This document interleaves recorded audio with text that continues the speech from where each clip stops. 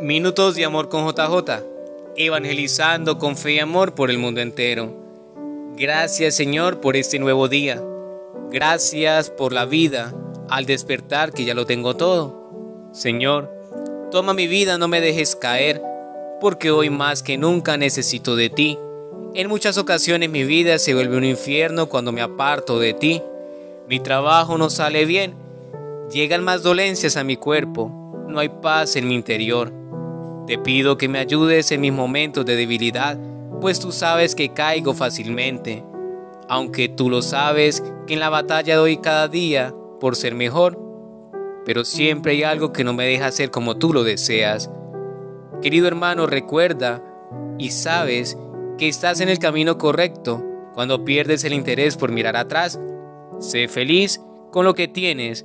La felicidad depende de cada uno de nosotros. Les deseo un feliz y bendecido lunes.